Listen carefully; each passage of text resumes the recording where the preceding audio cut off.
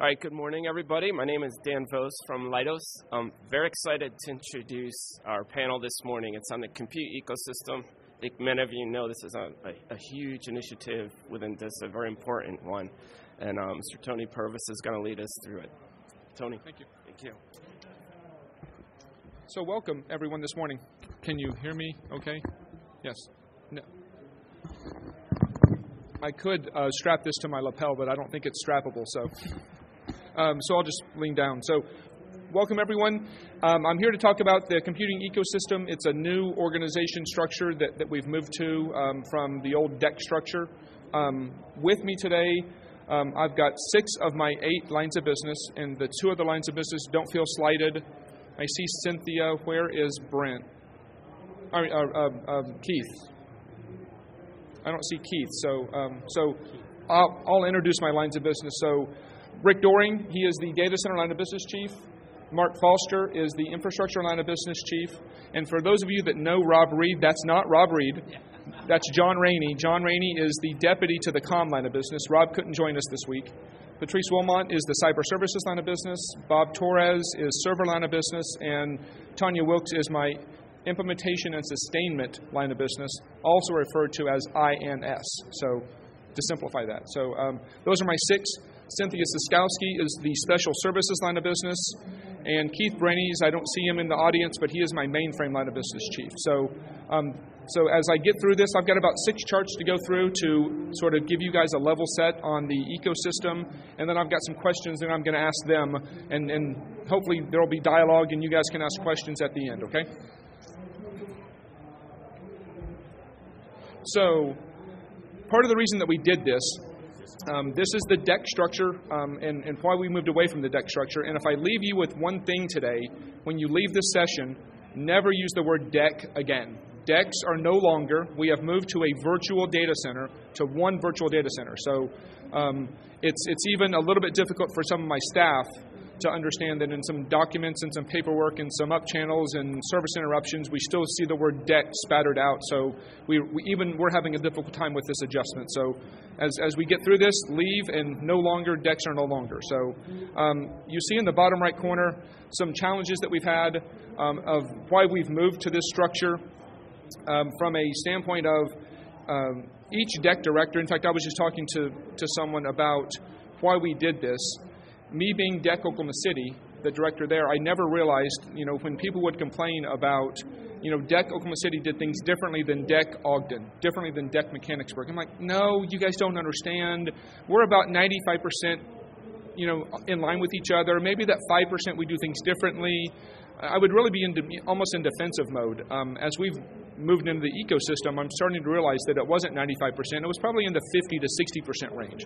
So there are lots of things that we're uncovering and, and trying to optimize and trying to standardize as we get into this. So that's the reason that we've moved into the ecosystem from the DECs. Um, from a, a, one of the things, one of the big reasons um, is we've continually cut cost over the years. Um, and, and you see down there um, duplicate overhead costs. Uh, back in what 2015 we cut 10%, 2016 we cut 10%, in 17 we're cutting another 7% of, of our cost to reduce our rate structure.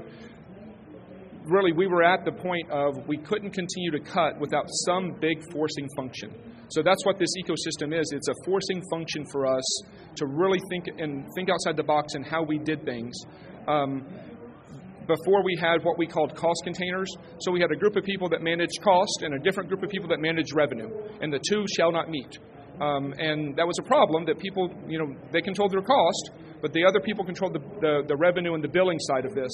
So within the lines of business structure, that's one of their major tasks is they have net operating result or positive cost revenue uh, responsibility within that line of business. So it's really tasking those eight people to run that complete line of business.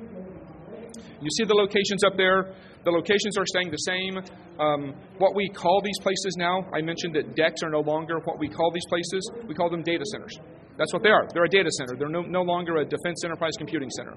Um, so you will no longer hear me say the word deck. It's, it's gone from the briefing from now. So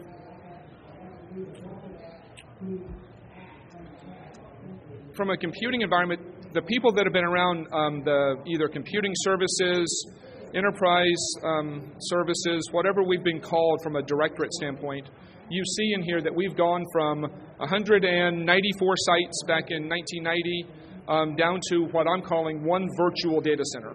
Um, so whether it be back in 93 when we stood up, we were called Defense Mega Centers.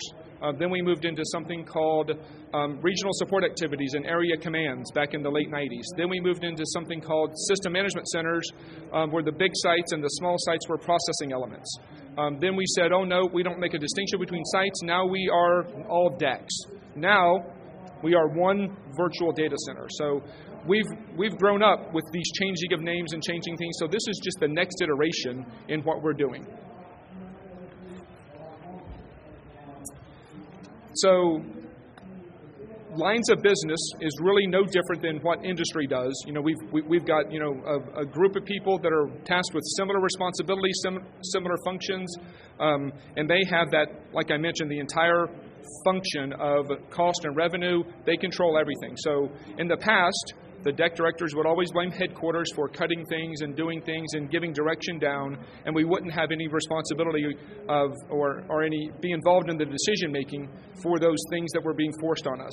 Now, no longer can these lines of business say that because they are responsible for the strategic direction, the tactical direction, the day to day ops, the cost and revenue. So they're really self contained.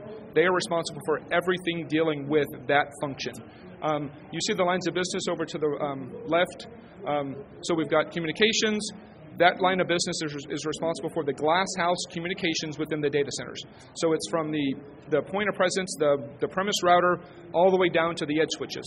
Um, not to be confused with what DISA Global does. DISA Global manages the DODIN. John Rainey and his group, they manage the glass house com within the data centers. Um, cyber services, Patrice Wilmot, she manages all of the functions that deal with cyber, the auditing function, the scanning functions, all the HBSS, ACAS.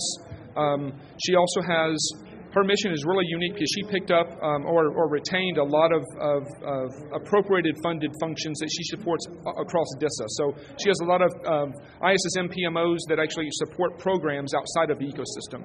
She's the only line of business that has that um, function that supports things outside. The other seven line of business only support things within the ecosystem.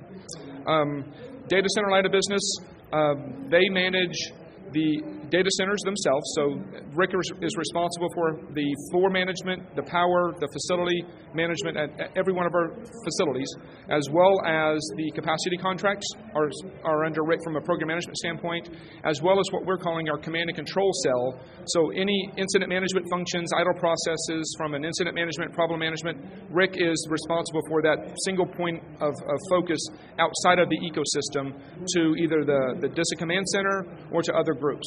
Um, he does all the releases of ASIs, all that um, comes out of the C2 cell. Um, Tania Wilkes, implementation and sustainment. She has two big functions implementation. Um, so, all of the project leads, all of the um, um, system requirements forms, all of the letter estimates that are produced from a new business standpoint, Tania does that from the implementation side. From the sustainment side, she's also responsible for application support and database management support that's a, that's a reimbursable bill to our customers. Infrastructure line of business is responsible for all of our enterprise virtualization teams, whether it be um, our VMware environment under x86 uh, or using um, the HPUX or Solaris virtualization layers. He's responsible for that, as well as the entire storage management team. Also under Mark is the ITIL processes of change management and configuration management. So he's the process owner for those ITIL processes. Uh, mainframe line of business, Keith isn't up here, but mainframe line of business, obviously, that's a soups to nuts, controls everything with the mainframe, both IBM mainframe and Unisys mainframe, sits under Keith. Uh, server line of business, all the system admins um, work for Bob. Um, he's got about 350-ish people that, that work in the server line of business, so Bob is responsible for all the system admins for all the sites and most of the applications. And if I haven't mentioned something, then special services is that last, last line of business that we created.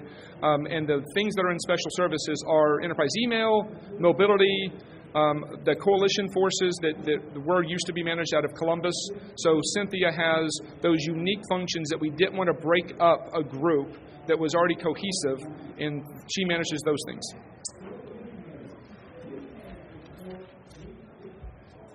So I've talked about the the differences that each deck showed or each site had, and that's what's depicted on the right side up there. Is every site had their own processes, their own reports that they would give uh, customers. They had their they patch systems in a certain way. They they interface with customers in different ways. So as we move from the before to the after, that's the big so what when it comes to this ecosystem is standard support. So when a customer goes to Data Center Ogden, they're going to get the same support as if they were going to Data Center Mechanicsburg. Um, we're going to begin patching very standard, very similarly. Um, we're going to have implementations. Um, customers continue to um, hit us up on the timelines that it takes to get from a system requirements form out to an application becoming at its initial IOC. Um, so we're standardizing those processes. Something I've tasked all the LOBs to do is how do we create a, a process to where we shrink that timeline going from SRF to actually IOC by 40%. Um, some customers say it takes over 300 and 400 days to, to do that. How can we shrink that way down? So Tania's tasked with leading that effort, working with the different lines of business. Um, and then also from a offering standpoint, um, every site used to do their own thing, and, and, they would have boutique services. They would give this Navy customer or this Air Force customer. What we've got to do is we've got to standardize, and that's what part of their lines of business is looking at is standardization. And then from a timeline standpoint, so um, this was announced last year. We developed all the work in 16. Uh, 17, January of 17 is when we um, stood up initially. Officially, we were stood up in, in February. So we've, we've been at this about five, five or six months. Um, and that's what I told them, and I've told the staff as I've gone out to the different sites, is 17 is the year that we understand what we have. Um, so it's, it's that learning period where if we didn't know something, we, this is the year that, that we've got um, sort of grace to figure out how it's going. Um, as we get into 18, 18 is the year that we've got to begin optimizing. Um, so 18 is optimization year, and then our standardization year, and then 19 is when we optimize what we just standardized. So um, those are the timelines.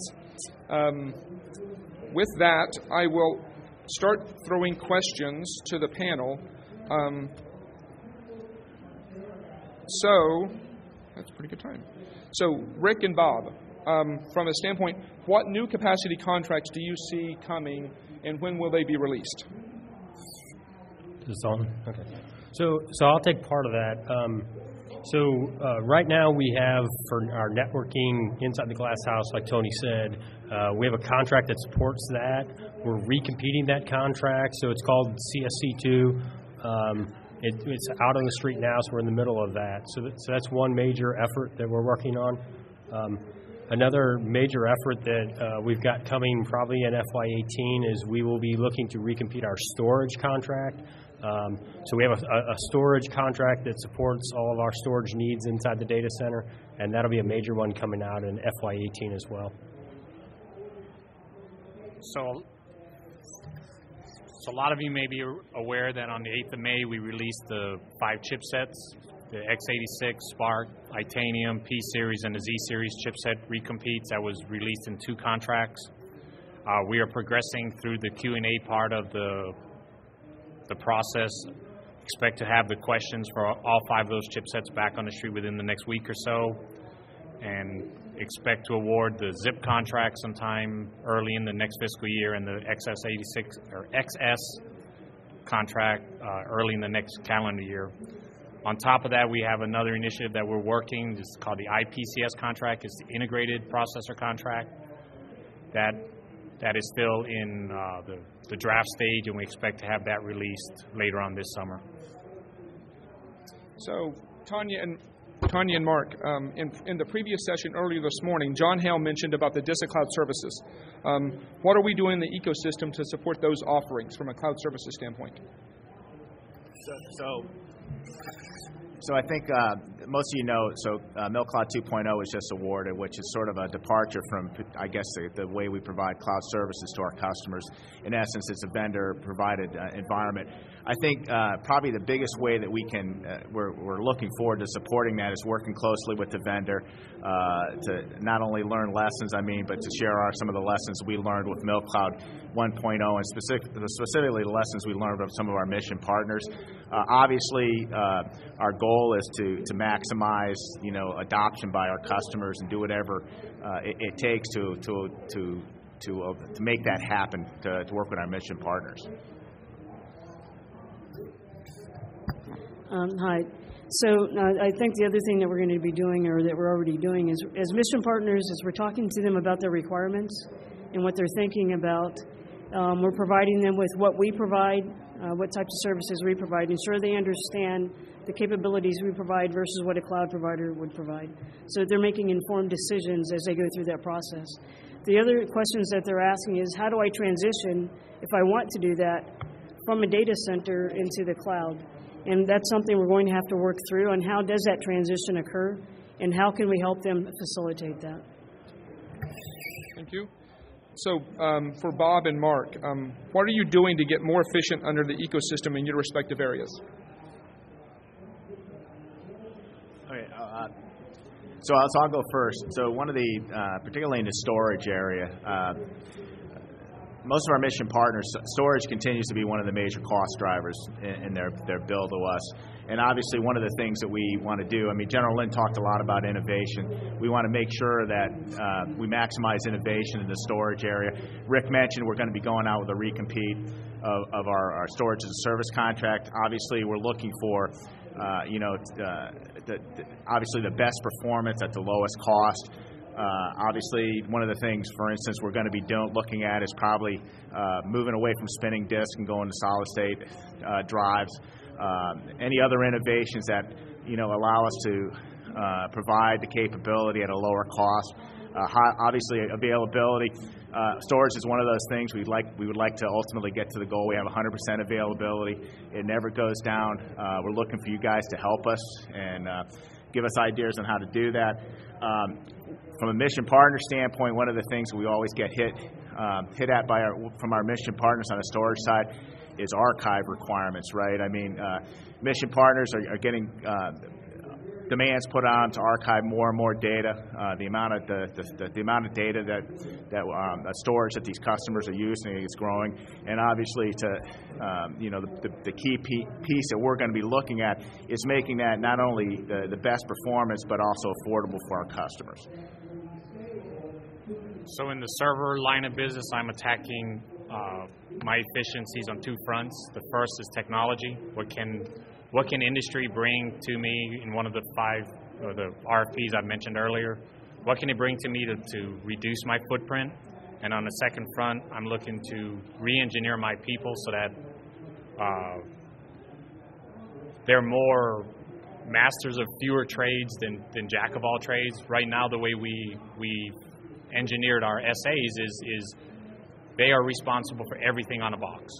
I'm trying to re-engineer that or, or reapproach that so that a group of server or a group of SAs will do the operating system. Another group will do Active Directory or they'll do IIS services or they'll become specialists in, in, in one area as opposed to trying to be the jack of all trades. The, the primary, the, the technology aspect, again, I'm, I'm looking for for what can I do with technology to reduce the footprint? Can I put, for instance, like the general said yesterday, can I put a, a GPU on a motherboard and, and serve up uh, static web content a lot more efficiently? Can I deploy an i4 chipset in the Itanium world and cut my Itanium boxes in half? You know, everything I do to reduce my footprint or the amount of servers that I have to maintain makes me more efficient in, in, in how I deploy my people. So, two fronts reengineering my people and using technology. So, for, for Tania and Patrice, what are you doing to reduce timelines to provide faster service, and what uh, type of things are you looking to implement?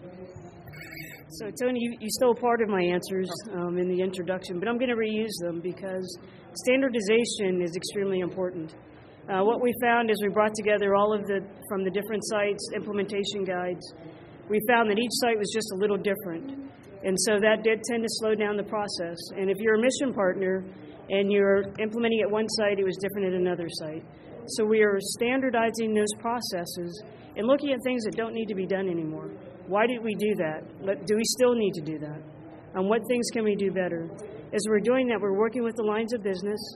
to ensure that we have, and I'm going to say end to end, but a process that gets us all the way through an implementation. Uh, the second thing we're doing is much what, what Bob was talking about is retooling the force and retraining the force. How can we ask? Part of the part of the timeline uh, involves getting that requirement from a mission partner, and the tendency is some mission partners know all they want, and some know kind of what they want, and some know they wanted something, right? So, how do we ask the right questions and have that dialogue so we can get a good baseline requirement faster? And so, we go through, when we go through the implementation process, we're not going back and forth asking additional questions if things aren't clear. Yes, things change, and we'll take care of that. But we want to get a good baseline in the beginning so we can get the process started as quickly as possible. Um, the third thing that, and I think many of the others have already talked about, is standardization across the board, or not standardization, but automation across the board is going to help our implementation processes as well. Um, if we can get the requirement defined quickly and sufficiently, and things can be implemented in an automated way, taking man, man and woman out of the loop, where we might induce error and time, I think we'll implement a lot faster. Am? Oh, it is? Okay. So, from a cyber perspective, and um, I first have to say, typically we find that cyber is at the end of the process, and then everyone wants to blame cyber for being the problem in the implementation. So, we are doing more work up front with mission partners, really talking to them about their design, understanding um, what those challenges are going to be before it gets into the ecosystem. But as we're going through the ecosystem, we're also with the joining of all the different um, data centers, we've been able to really uh, capture some of the best practices and, and, get a better understanding of what we need to look at as things are being implemented. From an industry perspective, I think the most help we could really use is help with um, capabilities that help us assess those applications up front, um, better looking at code, things like that, because really, I mean, we've been very focused on the infrastructure, but those systems and applications, this is really where the rubber meets the road.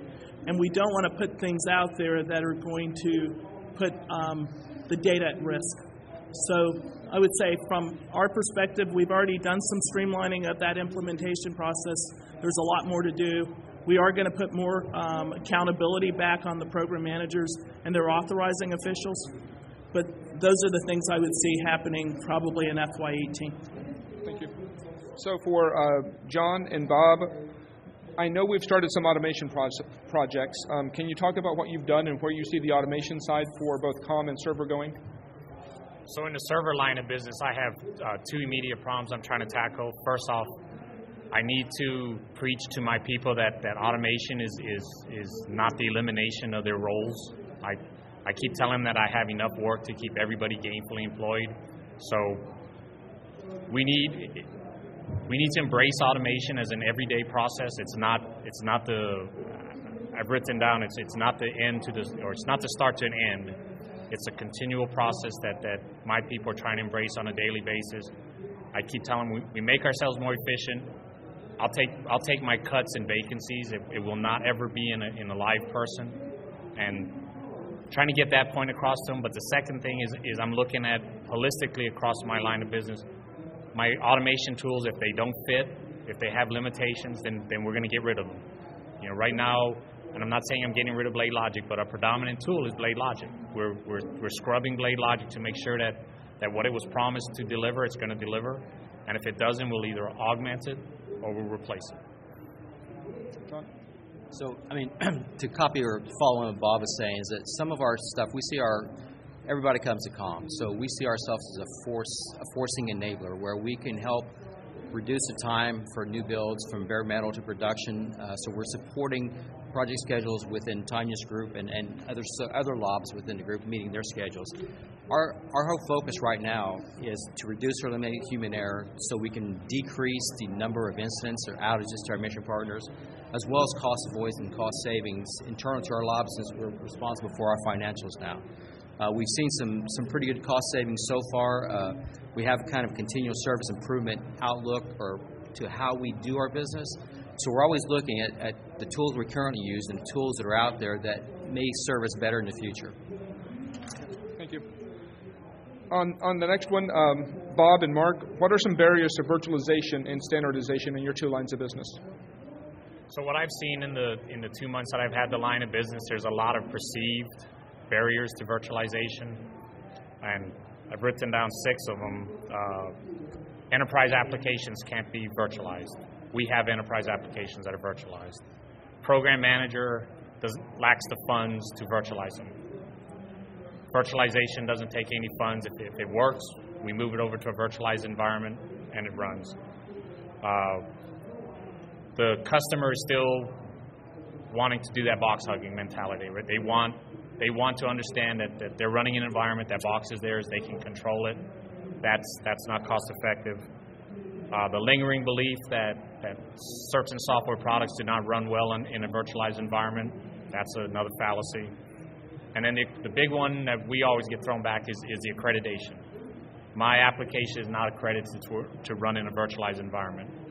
Every time we've tackled that, we've, we've been successful in, in, in getting past that accreditation barrier. So, so about five of the, the most more prevalent uh, roadblocks to virtualization.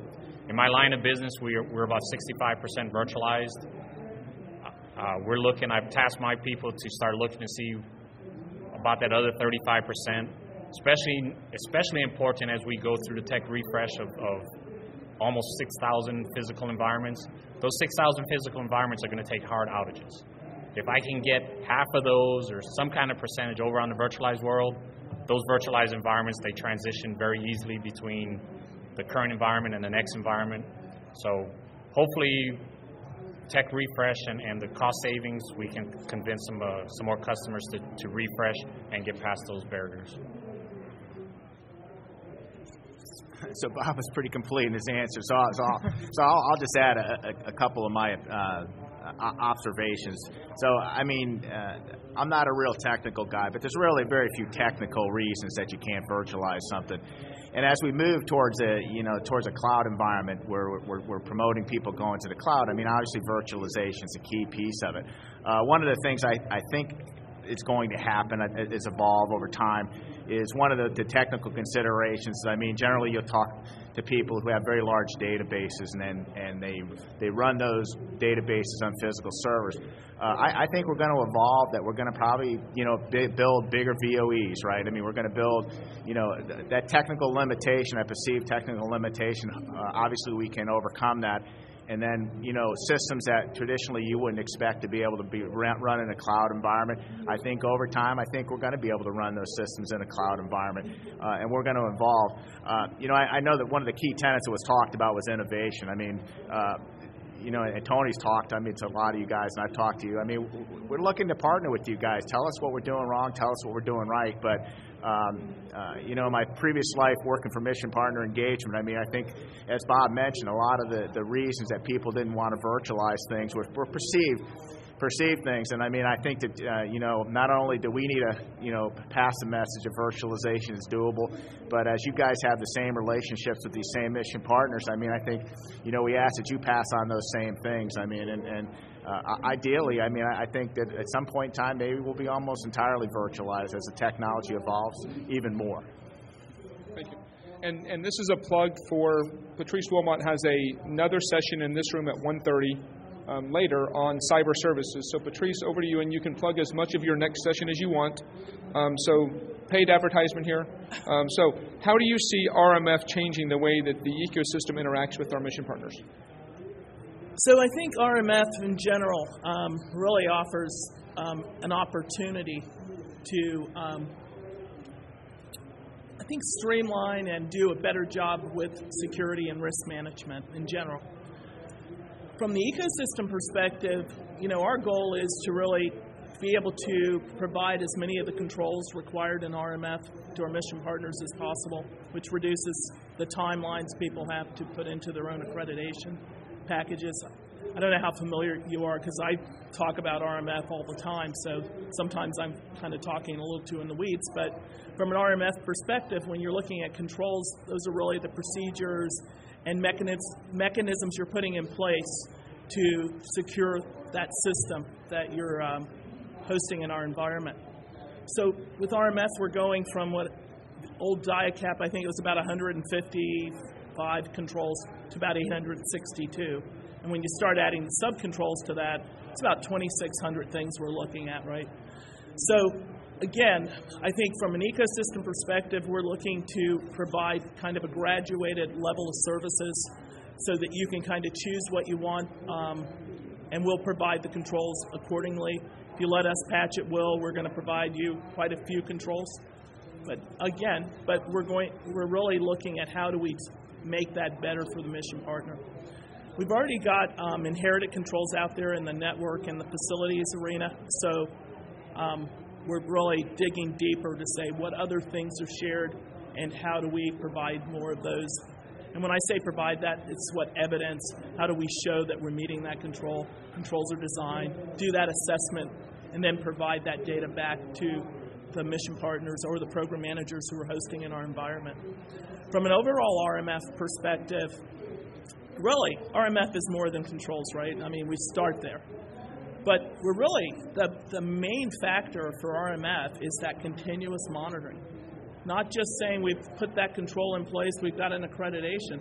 How do we continually look at what we have implemented and ensure we're um, continuing to manage the risk of that environment? So I would say that's the bigger shift we're having in the ecosystem. I'll tell you, bringing all these different skill sets into one place, from my perspective, has been amazing. And I was when I walked into this, I was like, oh my gosh, this is going to be one of the probably most difficult jobs I'll ever have.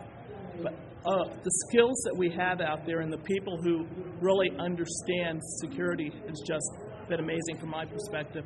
So we have been able to do a better job of assessing um, the risk of those systems and providing that information back. So this afternoon I'll talk a little more about this, but when I think of the total value of the ecosystem, what's our objective? Speed. How do we get the information, know what vulnerabilities, know what risk we have in our environment, and get that information acted upon? So some of that's really going to require many partnerships. You know, whether it's a mission partner or program, hey, we just saw this, we need to let you know sooner rather than later so that you can take action, allow us to patch, or give us the um, permission to patch at will. It's going to be up to that mission partner, but the point is we can get things acted upon so that we reduce the risk to our environment. Um, let me think. Sorry, I just got went off on a tangent, didn't I? And auditing, that's the third piece. I'm, I think auditing, monitoring, how do we report? That's going to be another area I'm going to talk a little more about this afternoon. But my major focus really is on how do we get down to that application level, get the information out to the person who owns that application so that we can take action, which I see as a benefit to the department. This is more than DISA. I actually have systems, internal and external to DISA. So I'm looking at this really being the opportunity for us to change the way we're approaching this across the department. Thanks, Patrice. So the last question I have for them, um, and they've touched on it throughout the the entire answering of, of different questions, but how can either the mission partners or industry help us do what we need to do over the next 12 to 18 to 24 months? So I'll throw that open to anyone who, who wants to start. So, Tania? I'll go first. Thank you.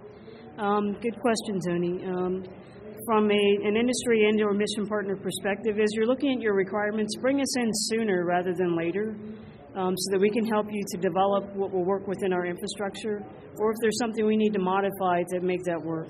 I think the earlier we partner, the more successful we'll all be, and we'll get that system in or the application established a lot faster. Um, the second thing I would, would uh, say is that flexibility. If you have some flexibility in your technology to work within ours, that will help us tremendously as well. Uh, we also have to look at being flexible in, in, how we're doing things and how we're bringing things in. Uh, we want to standardize where we can, where it makes sense. And then I know from my six month experience in doing this now, as soon as I standardize, you guys come up with this bright new idea, which is really good. And so I have to change a little bit. Um, but we still need to standardize where we can and then flex where we need to. So I was raising her to the mic because I gave her that answer earlier today. So No, that was that was mine. But but you guys know our boundaries. You know your products need to have certain. You know, it has to be STIG compliant. It has to be CAC enabled. Two part. You kn- you know our rules, and like Tania said, bring us in early. We'll help you get through those rules. We're not you know we're not an impediment to you to you pitching something to our mission partners. We're we're here to help them run that that solution once it's you know once they res- once it resonates with them we want to help run that. That's our business. We want we want those things in our data centers. So get us in early and you know we'll we'll help run through the, the hurdles that, that it requires to, to, get that into our data centers. Yeah, and, and, and I'd like to just tag off of what uh, Tania said about flexibility. I mean, one of the things I think that is important to us is uh, that flexibility helps us just operate it better and can gives our mission partners better uptime. Um, but also, we need the flexibility to move forward in technology. So, I, I think one of the things that we see is, you know, as we go through tech refreshes and we go through upgrades and things like that, there's there's some technology that is out there that is designed to just move forward, and there's some that's not. And we really need to be in that mode where the technology can move forward quickly for the mission partner's sake, for for our, our you know operation of that, and so bring solutions that can move forward so that it's not tied to uh, the, the old way of doing things because technology is going so fast. And we've got to keep those mission partners moving forward, and we can't have solutions that hold us back.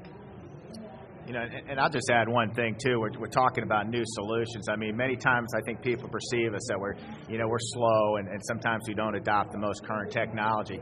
Uh, everybody's just got to understand. I mean, we want to have the best technology, but the price point's got to be there, right? I mean, we're we're held very accountable by our mission partners to cost, right? And we got to keep our rates down. So although you may have the greatest solution in the world, if if, if the price point's not there, I mean, you're going to have a solution that we could go out and present to our mission partners, but nobody's going to want it because they can't afford it. So I think you know when when you guys are deciding to you know uh, approaching us with the, the next great thing. I mean, just just just keep that in mind. Keep the price point in mind. And and like Rick said too, is I mean, uh, we we can't because we operate as an enterprise. We can't continue to go forward with just one-off solutions, right? I mean, we have to we, we look for technology and solutions that can be apl- applied across the board that that could could, could solve many solutions or many many issues or tech um, shortfalls that our mission partners have. But but price is it. I mean, I mean, especially in today's environment. I mean, cost is becoming more and more important. And I think sometimes, you know, our mission partners come with us because they've talked to one of you industry partners, and and then we come and we, we pursue the technology, and the price point's just not there. And I mean, it, and you know, we end up having disappointed mission partners. And I think sort of the message here is get us involved early on. I mean, talk to us first, and we'll help you sell the technology to the mission partners. Yeah, I think I think I'm on the back end of that. So part of the challenge I've heard this at other Air Force conferences is that you know there's a lot of great tools out there that vendors have, but we have a lot of tools now, and we're not probably leveraging the full capacity that we could now. So as we move forward into newer tools or newer capabilities for the markets that we or for the mission partners we support, we need to better we need to know better how we can integrate and implement and use those tools to a more full capacity than what we are. And I, I got to get out of this constant learning churn of different tools, and it just kills us. And we're not really providing the level of support I think we could provide, given that we have given we have a better opportunity to learn actually learn the tool itself. So. Okay, so that completes the panel session. So now I will open it up to questions from you guys. Any questions? Chris Parashuk, Nova Corporation. Um, so my question, probably more for Tony at your level. DISA recently put out an RFI for the next iteration of GSMO. I've talked with several other leaders in the DISA enterprise side specifically. I wanted to get your thought, in addition to the panel's thoughts, on kind of the practicality of ecosystems, contracts merging with the uh, transport side of the house um, the future of that and the implication it will have on small businesses because a lot of that's spread currently across small businesses today. So, so great question, Chris. In fact, I, I, if no one was going to ask this, I was going to end with that um, conversation topic. So, um, the RFI was released. Um, Mr. Bennett asked, so, so the way that the operations center is structured is there's four directorates under Mr. Bennett, with services directorate being one of them, and that's where the ecosystem resides. Working directly for Mr. Bennett is the logistics group, the finance group, and the manpower group. So logistics works directly for Mr. Bennett. Um, that guidance came down from Mr. Bennett that, hey, let's see what industry thinks about the it was really a, and, and I think in the RFI they threw out a, like three or four different DECC contracts in that RFI to say, hey, what do you guys think about this? If you were a small business, you hated it. If you were a big business, you said, I'm all for it. So, um, what we've been having meetings since that RFI went out, and actually next week in Oklahoma City, I've got the log people that work the GSMO contract coming to Oklahoma City um, because we like to think that we're special in the computing side. Um, no one understands how to host applications um, if they're focused on the DODIN and how to manage contracts in the DODIN. So um, we've got them coming to Oklahoma City. We're going to educate them on the computing side of the house. Um, but the overarching plan is this um, we're going down two paths. We are going to look at GSMO we're going to see is that a direction we want to go. We've had conversations with um, Sharon Jones Small Business. Um, big concern is about 80% of our contracts are with small business today. And, and for those of you that don't know, the ecosystem is made up of about 1,400 civilians and 1,000 contractors. So there's about 2,400 people in this ecosystem thrown in these eight line of, lines of business. So we're talking 1,000 contractors spread across about 80 contracts. Um, so what we do know is we've got to do contract consolidation. Um, how we do that is still on the table um, for decision. Um, so we're going two paths. We are, we are looking at a way to merge, consolidate, do something on the contract side to have two or three contracts per line of business. So right now, our, our tech services contracts, we've got one contract, say, with 50 people, and Rick may have seven of them, and Mark may have three of them, and John may have eight of them, and they're spread across. And, and um, for in, in the past, when you had a DECC director at a site, you know, a vendor would come see me and I would tell them about all my people, all the contracts, and I managed all those contracts. Well, today you go to Rick and he has a portion of them, and then you go to Mark and he has a portion of them. So I understand that's very frustrating for you guys because you don't know who do I talk to? Do I talk to all eight of them? Well, today, yes. That's who you talk to. These six people and the other two. Um, because they manage those contracts. I don't. Um, but from a strategy standpoint, we are moving toward two or three contracts per line of business. Now, how do we get there? That's the hard part. Um, because on our contracts, you know, I mentioned there's roughly a thousand contractors on, on our contracts. We share those contracts with other people outside the ecosystem. So there are some people in ID that use our contracts. There are some people in um, mission partner engagement, in PEO, that use our contracts. So how do we do two or three contracts per line of business. Um, we're targeting sometime middle FY19 to do the first awards of those contracts. So we've got to line up all of these other contracts based on option years, based on when they expire, going to two or three per line of business.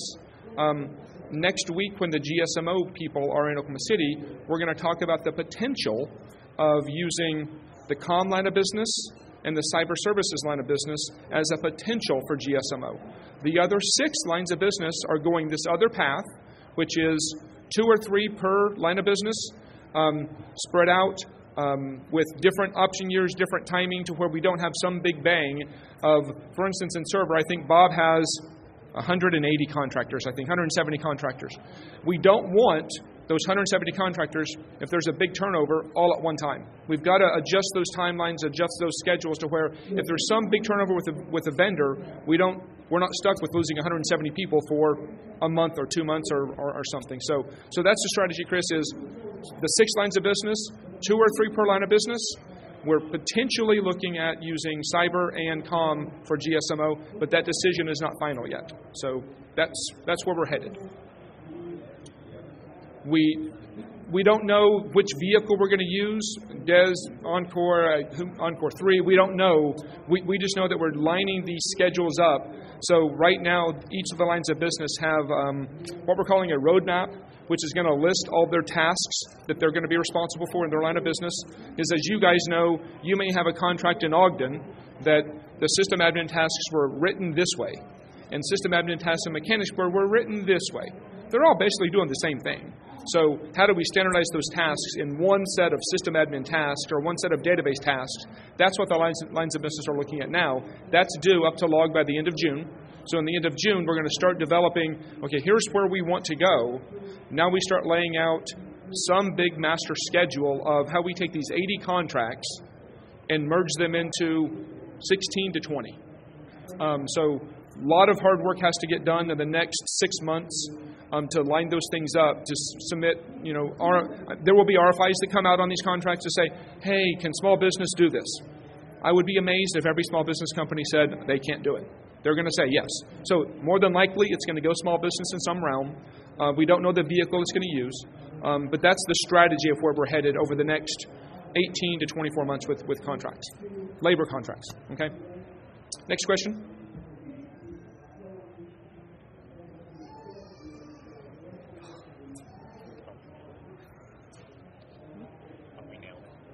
My question is uh, with respect to innovation because I heard the uh, panelists talk about innovation. Um, a good example that comes to my mind is uh, Red Hat.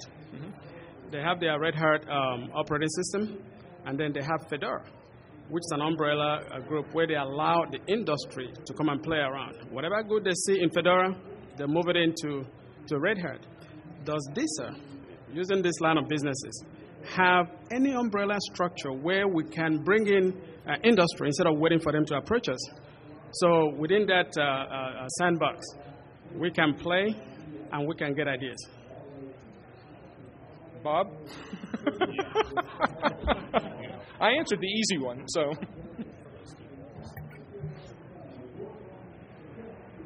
So I, I think the, the, the easy answer is is we don't dictate what our app, what operating system our applications run in. And if I understand the gentleman's question was was can we offer different versions of, of Red Hat or different versions of Linux? Was that your question? No, it was more of a sandbox. More of a sandbox. Yeah, yeah. So so can we build a sandbox for this environment for people to come in and, and just play and test and do different just things. an umbrella yeah we don't tell them what to do yeah but they come in yeah so, so we can do that but we have to it has to pay for itself. I mean, somehow we have to, to generate revenue into it. I, I, um, yeah. So so that's the that that's the problem that, that our so right now the, the ecosystem as a whole is about a billion dollars a year in, in cost and revenue. And every year when we budget, we've got to have that billion dollars hopefully is going to be shrinking as we as we start cutting costs and becoming more efficient. But we bill our customers for that billion dollars. So our mission, different mission partners within the different agencies and services, pay that entire billion dollars a year. So, based on that, if we built something, we've got to do it as a service. We've got to be able to sell it. We've got to be able to either roll it in as overhead, which potentially increases our cost. I like the idea. Now, what typically we do is we, when we award, Bob and Rick both mentioned our capacity contracts. Um, when we award those contracts, we award them, and that's our partner in these things. So if today our x86 contract is with HP, um, we could very easily go to HP and say, hey, what's new? Let's use one of your labs to build something, to do something in. We do the same thing with Oracle on the, on the um, Solaris side. So once we establish our, our contracts from a capacity standpoint, that's our partner, and we're really using them for that innovation and using their environments because we're sort of already paying for it through those contracts. So, but building it in our data center is a little bit difficult from a testing, development? Do we build the separate network? We're talking some Zone B environments from a development standpoint. So, how do we do that in a secure environment? Because we've got to segregate them off to where if someone's playing over here, it's not going to possibly go into the production side from a security cyber standpoint. So, um, we've also, you know, we mentioned earlier, we've awarded MilCloud 2. So with MilCloud 2.0, um, customers can do that themselves in a Mil- MilCloud environment. They can do it today in MilCloud 1.0. They'll be able to do something similar in MilCloud 2.0. The customers can come in and play. But as far as us building something, it's we're always looking at cost, and, and that's really the, the driving factor why we probably are not in that realm. Cost, and then the cyber side of how we protect that and enclave that off to where people that play don't come in and impact production. We've had actually we've had people. You know, Tony's mentioned the cloud environment. We've had mission partners come in and we'll set up a, a cloud environment, get a product loan agreement for a particular software manufacturer that will let them test drive it in a, an environment. Then when you're done test driving, just get rid of the. You know, you just say I don't want the environment anymore. The the product loan agreement's gone. And, and I mean, there, there are mechanisms to do it. I mean, it's not all uh, that it can't be done. I mean, I just think if you're looking for us to build a, a traditional sandbox for everybody to share, I think cloud is probably would be the recommendation we would give you to go to MilCloud, do it on your own because I think we have the mechanisms that you can do it on your own. It's that I don't think we would be willing to do it at an enterprise level, like build like a huge sandbox for everybody to come in and play. Then the other thing also is uh, something like a forum, just like this, mm-hmm. a forum that doesn't have require any physical uh, infrastructure, mm-hmm. where ideas are shared. Uh, a good example is that um, um, in using Forescout, mm-hmm. we've set up a forum where we reach across the entire DoD for everybody that um, um, is implementing Forescout. We want to hear what you've done. What have you done better? What can we learn from you? What policies do you have? Stuff like that. Yeah. It doesn't require any money, just okay. to get the people together. Okay. Yeah. Okay. Other questions? Chris, any other questions?